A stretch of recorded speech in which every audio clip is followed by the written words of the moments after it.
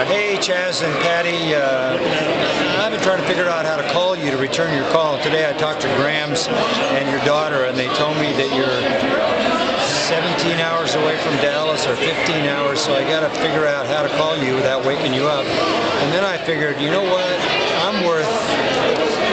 I'm him up for. So I don't know when I'm going to call you, but thanks for your call.